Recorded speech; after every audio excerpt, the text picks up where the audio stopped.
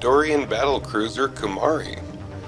The Kumari was an Andorian battle cruiser that was in service with the Andorian Imperial Guard during the mid-22nd century. It was named after the first ice cutter to circumnavigate Andoria and was the first starship of her class. The Kumari was put under the command of Commander Shran in 2142. The Kumari was capable of speeds in excess of Warp 5 and was armed with advanced weaponry and a tractor beam. In 2154, the ship had a crew complement of 86. In December 2153, the Kumari entered the Dalphonic Expanse in search of the Earth starship Enterprise. After spending several weeks following the Enterprise's warp trail, the Kumari rendered assistance in capturing a Xindi prototype weapon. It was only discovered that the Andorians intended to take the weapon for themselves, though the Enterprise captain, Jonathan Archer, prevented Shran from doing so by detonating the prototype. The Kumari escaped destruction but suffered heavy damage. On February 14, 2154, the Kumari was able to detect a Xindi weapon on its way to Earth through a subspace vortex and followed it. Arriving shortly after the weapon and Degra's shuttle, on Shran's orders, the Kumari provided cover for Degra's shuttle against Commander Dolim's Xindi reptilian warship, enabling Archer and an away team to board the weapon and destroy it, saving the Earth. While Archer was on the weapon, the Kumari continued to engage Dolim's ship and ultimately destroyed it by firing on its unshielded starboard engine.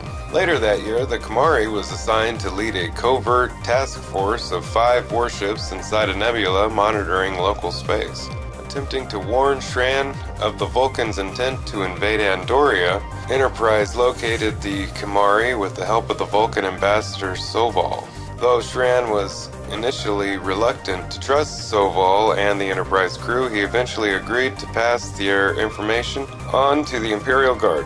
While the Imperial Guard ultimately agreed to redeploy its forces to counter the invasion, the Kumari was but only one ship in a small and hasty developed fleet, deployed fleet consisting of the Enterprise and five other Andorian vessels. The fleet, however, succeeded in holding off a dozen Vulcan crusaders at the Battle of Andoria, long enough for Archer back on Vulcan to provide information leading to the removal of Ambassador V'Las, leader of the Vulcan High Command and main proponent of the invasion.